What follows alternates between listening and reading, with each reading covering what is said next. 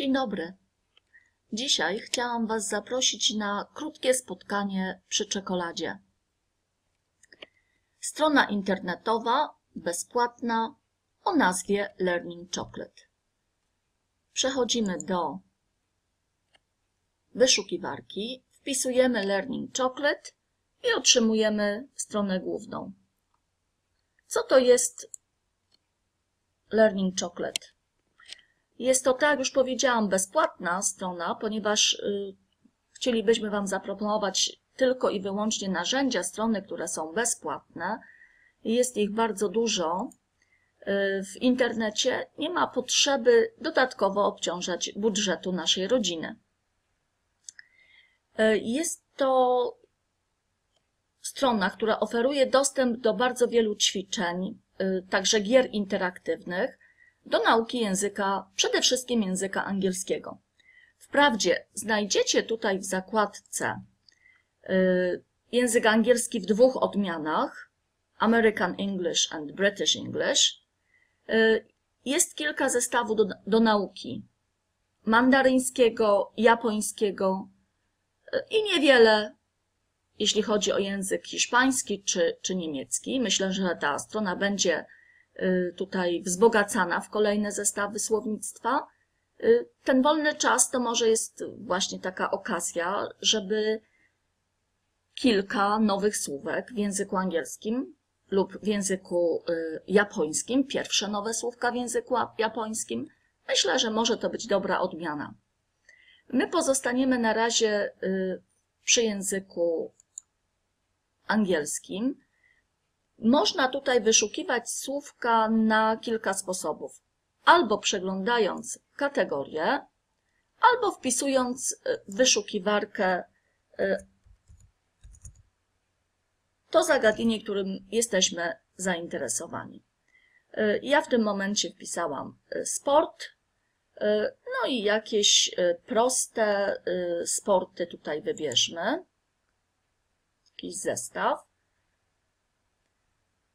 Po wybraniu interesującej nas y, kategorii uzyskujemy dostęp do ćwiczeń. Tych ćwiczeń właściwie jest y, sześć typów.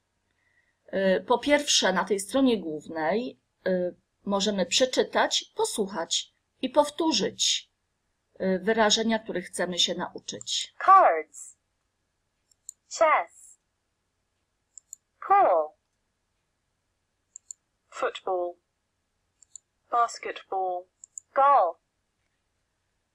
Przechodzimy do drugiego typu zadań, mianowicie jest to Match Up One, czyli posłuchaj i przeczytaj, posłuchaj i dopasuj.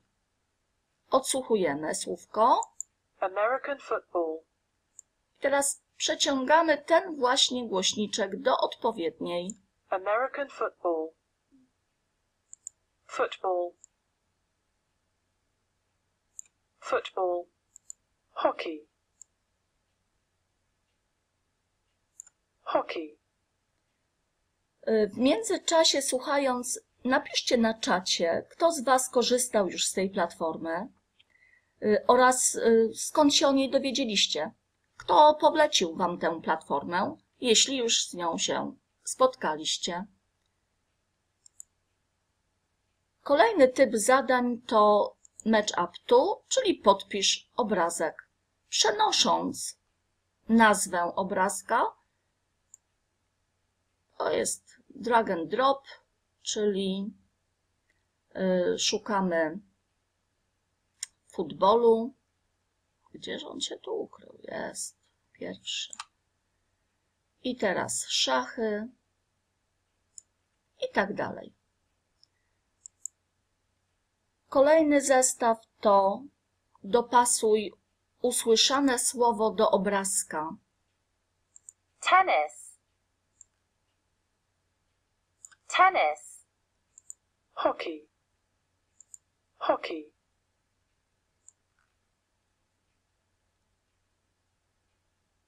Hockey football football football Dobrze. I następny. Dopasuj słowo do obrazka. Cards.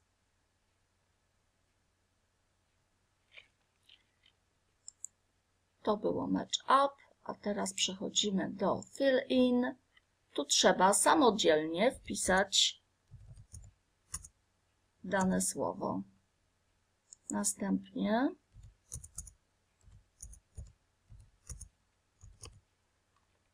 i oczywiście za każdym razem możemy sprawdzić nasze odpowiedzi.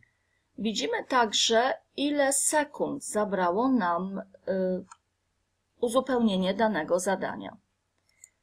Ostatnia kategoria to posłuchaj i zapisz, czyli właściwie takie dyktando. Tennis.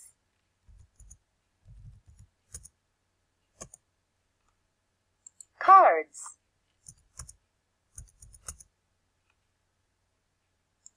Volleyball.